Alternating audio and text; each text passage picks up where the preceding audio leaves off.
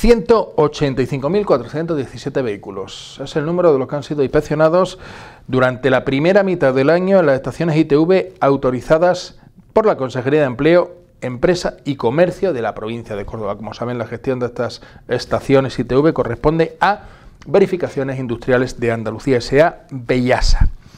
4.805 vehículos más que en el mismo periodo, es decir, en la primera mitad del año de 2017, cuando se revisaron 180.618. Esto supone un incremento del 2,66%.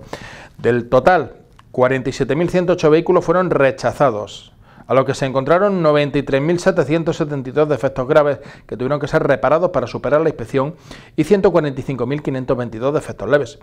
El porcentaje medio de vehículos que no superaron la ITV fue del 25,4%.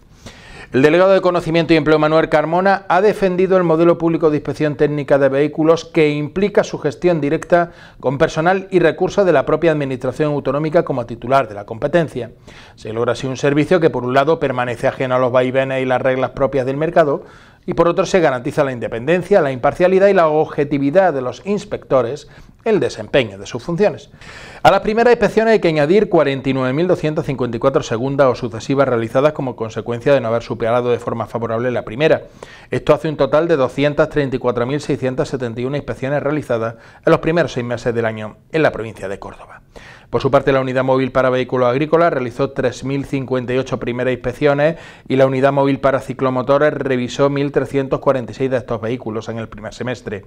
El grupo más numeroso de vehículos inspeccionados fueron los turismos particulares, 130.564, el 70,4% de las inspecciones, seguido de los vehículos de transporte de mercancías de igual o menos de 3.500 kilos, el 19,01% y de motocicletas y ciclomotores, el 4,7%. El apartado donde más defectos graves se detectaron fue alumbrado y señalización, el 24%, seguido del de emisiones contaminantes, un 19,4%, ejes, ruedas, neumáticos y suspensión, un 19,2% y frenos, un 11,8%.